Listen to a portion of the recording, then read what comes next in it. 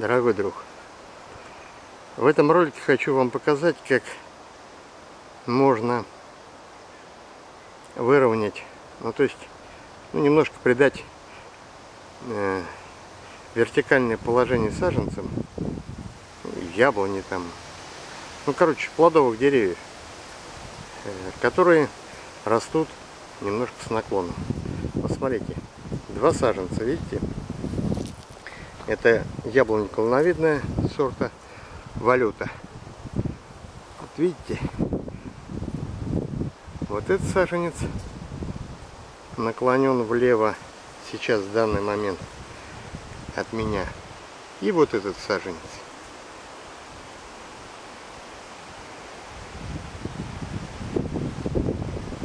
Две вот эти взрослые яблони Смотрите, они ровно стоят. Вот. А если я вот эти саженцы оставлю ну, как есть, они сейчас, ну, макушка будет все влево и влево, и потом веточки пересекутся, будут, ну, или тереться, или мешать друг другу. Ну, от ветра будут веточки бить друг друга, ну скажем так. А если будут яблоки, то они будут осыпаться. Вот смотрите, осенью я ставил вот сюда, ну так скажем, опору.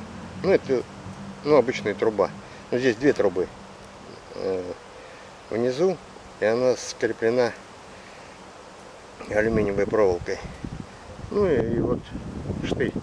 Сейчас я посмотрю, э, в каком удобном месте сделать несколько запилов. Запилы я делаю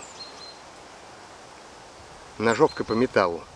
Ну, потому что от, от полотна этой ножовки зарезы получаются очень тонкими.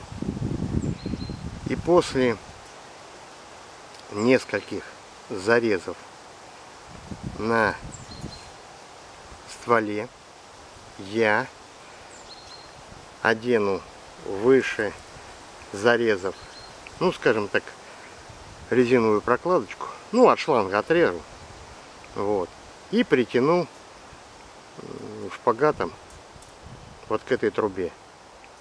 Сделаю это самое ну, сначала вот эту яблоньку сделаю, чтобы у нее ствол рос вертикально. Впоследствии я имею в виду. Ну и потом вот это самое перейду вот на эту яблоньку. Ну. Это я делаю не, не единожды, я так, ну, уже делаю давно. Если у молодого саженца есть искривление основного ствола. Ну, я вот так вот выпрямляю, короче. На фотках я вам покажу все причиндалы, которые нужны вот для выпрямления э, стволов ну, и для этой работы.